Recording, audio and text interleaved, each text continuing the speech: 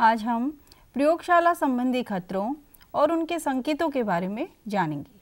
जैसा कि हम सभी जानते हैं कि प्रयोगशाला खतरनाक रसायनों, रेडियोधर्मी पदार्थों, जैविक नमूनों, धारदार यंत्रों, कांच के बने उपकरणों और ज्वलनशील वस्तुओं आदि से भरी होती है।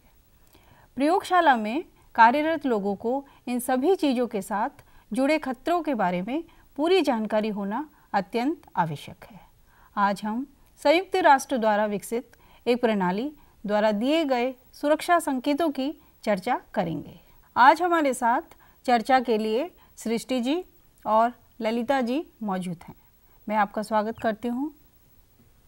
सृष्टि जी, मैं आपसे ये जानना चाहूँगी कि एक समावेशी कक्षा में जहाँ विशिष्ट आवश्यकता वाले विद्यार्थी भी उपस्थित होते हैं, उन्हें इन सुरक्षा संकेतों से हम किस प्रकार अवगत करा सकते हैं? प्रयोगशाला में हर जगह सभी विद्यार्थियों और शिक्षकों के लिए ये संकेत अंग्रेज़ी, हिंदी, ब्रेल और स्पर्शनीय रूप में सुलभता से उपलब्ध होने चाहिए। अतः प्रयोगशाला में सुरक्षा के लिए विद्यार्थियों, शिक्षकों और प्रयोगशाला स्टाफ को इन सुरक्षा संकेतों को जानना भी अति आवश्यक है। ललिता जी, मैं आपसे ये जानना चाहती हूँ कि सामान्य चेतावनी संकेत क्या हैं और क्या हम इसे सभी प्रयोगशालाओं में इस्तेमाल कर सकते हैं? जी हाँ हम सामान्य चेतावनी सुरक्षा संकेत को हर प्रयोगशाला में इस्तेमाल करते हैं। जैसा कि आप देख सकते हैं सामान्य चेतावनी सुरक्षा संकेत में एक पीले त्रिकोण में एक काला विस्मय आदि बोधक चिन्ह है। यह एक सामान्य चेतावनी देता है कि यहाँ खतरा मौजूद है। बिल्कुल सही। यह हमें याद दिलाता है कि आपको प्रयोगशाला में सावधानी से काम करने की आवश्यकता है। कई बार ऐसा होता है कि रासायनिक अभिक्रियाओं में धूम यानी वाष्प निकलते हैं। तो क्या ये वाष्प हानिकारक हो सकते हैं? धूम सुरक्षा इस प्रतीक द्वारा दर्शाया जाता है। जब रसायनों या रासायनिक अभिक्रियाओं से खतरनाक वाष्प या धूम उत्पन्न होते हैं तो यह हमारे श्वास नली के माध्यम से शरीर के अंदर जाते हैं और उससे संबंधित समस्याएँ उत्पन्न करते हैं, जैसे सांस लेने में तकलीफ़ होना या कभी कभी श्वसन संबंधी विकार उत्पन्न होने का कारण भी बनते हैं। हमें रासायनिक अभिक्रियाओं से उत्पन्न खतरनाक वाष्प से एक निश्चित दूरी बनाकर तथा मास्क पहनकर काम करना चाहिए। हम देखते हैं कि प्रयोगशाला में ऐसे कई उपकरणों का प्रयोग किया जाता है, जिससे कई प्रकार की विकरणें निकलती हैं। आप मुझे ललिता जी ये बताइए कि क्या यह हमारी आँखों और त्वचा के लिए नुकसानदेह हो सकती हैं। जी हाँ आप प्रयोगशाला में कई तरह की विकिरणों के संपर्क में आते हैं, जैसे कि रेडियोधर्मी विकिरण, प्रकाशिक विकिरण, अनायनकारी विकिरण और लेजर विकिरण। सबसे पहले मैं आपको रेडियोधर्मी विकिरण के बारे में बताना चाहूँगी।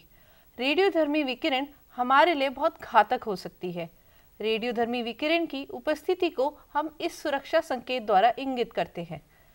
जैसा कि आप देख सकते हैं रेडियोधर्मी सुरक्षा के सार्वभौमिक प्रतीक में एक केंद्रीय वृत्त के चारों ओर 120 डिग्री की दूरी में स्थित तीन पंखुड़ियाँ हैं। इस प्रतीक की उपस्थिति परमाणु विकिरणों के साथ प्रदूषण या अनुचित जोखिम से बचने के लिए सावधानी का संकेत दर्शाती है।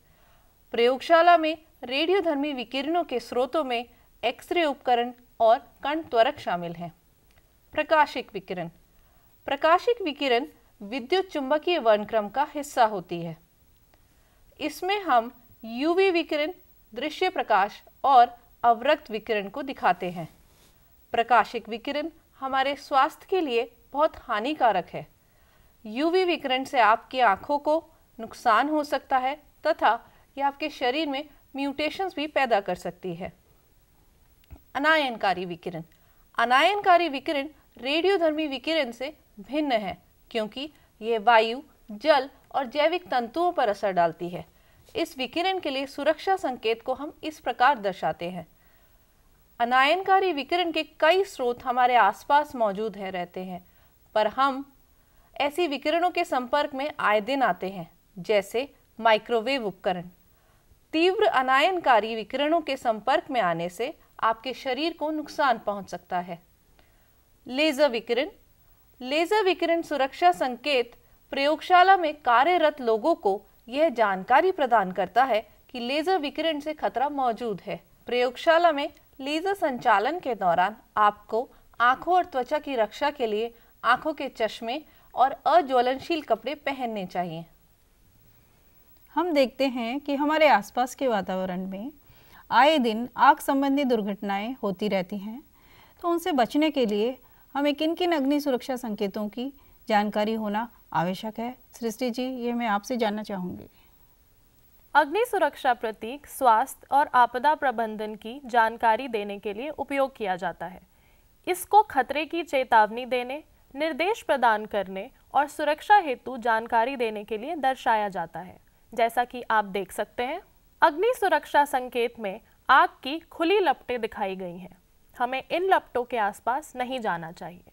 हम यह भी देख सकते हैं कि यहाँ विभिन्न अग्नि सुरक्षा संकेत दिए गए हैं जो दैनिक जीवन में हमारे प्रयोग में आते हैं। जैसे कि अग्निशामक अग्नि आपातकालीन टेलीफोन, अग्नि सुरक्षा घंटी, अग्नि सुरक्षा पाइप, अग्नि सुरक्षा सीढ़ी, अग्नि शमन यंत्र, आपातकालीन निकास बाईं ओर, आपातकालीन निकास दाईं ओर आपातकालीन निकास, दिशात्मक तीर, जो जिस भी ओर संकेत करे, प्राथमिक चिकित्सा एवं आपातकालीन टेलीफोन। कई बार हम प्रयोगशालाओं में ऐसे संकेत भी देखते हैं। यह प्रतीक दर्शाता है, जब खुली लौ का उपयोग होता है तो यह आग या विस्फोट का कारण बन सकता है। इसीलिए खुली लौ का प्रयोग करते समय अत्यंत सावधानी बरतनी चाहिए। हम प्रयोगशाला में कई बार ज्वलनशील पदार्थों के संपर्क में आते हैं तो इसके लिए क्या हमें एक अलग सुरक्षा संकेत की आवश्यकता होती है? ललिता जी, मैं आपसे ये जानना चाहूँगी। हाँ बिल्कुल। ज्वलनशील पदार्थ ऐसे पदार्थ होते हैं जो आसानी से प्रज्वलित हो जाते हैं।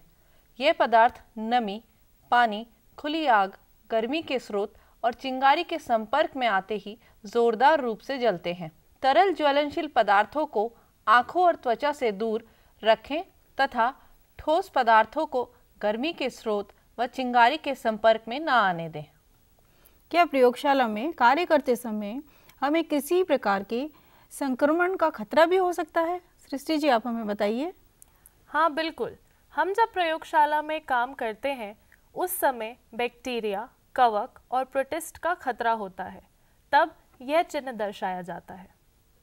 प्रयोग के समय लापरवाही, विद्यार्थियों, शिक्षकों अथवा सहयोग कर्मियों के लिए घातक संक्रमण का कारण बन सकता है। तो क्या इनके जैविक अवशेषों के निपटान में भी हमें कोई सावधानी बरतनी चाहिए? क्या यह पर्यावरणीय संकट का कारण भी बन सकते हैं? बिल्कुल। यह संकेत दर्शाता है कि प्रयोग के पश्चात जैविक कचरे का अत्यंत सावधानी पूर्वक निपटान करना चाहिए, ताकि किसी भी प्रकार की हानि ना हो और यह पर्यावरणीय संकट का कारण भी बन सकती है। पर्यावरणीय जोखिम एक अवस्था या घटना है जिसमें आसपास के प्राकृतिक वातावरण को खतरे की संभावना होती है। हम देखते हैं कि प्रयोगशाला में कई प्रकार के ऑक्सीकारक रसायन भी पाए जाते हैं। उन्हें हम कैसे पहचान सकते हैं? ललिता जी आप बताइए। ऑक्सीकारक कर्मक वह रसायन होते हैं जो कमरे के ताप पर रासायनिक पदार्थों का ऑक्सीकरण करते हैं, जिससे आग लगने या विस्फोट होने की संभावना बढ़ जाती है। ऑक्सीकारक पदार्थों पर आप ऐसा संकेत देख सकते हैं। ध्यान रहे, हमें ऐसे पदार्थों को ज्वलनशील, दहनशील और सहज दहनशील पदार्थों से दूर रखना चाहिए। प्रयोगशाला में कार्य करते समय आपको अपने शरीर और आँखों का भी खास ध्यान रखना चाहिए। यह सुरक्षा संकेत दर्शाता है कि उपयोग में लाए गए रसायन कपड़ों में दाग लगा सकते हैं या आपके शरीर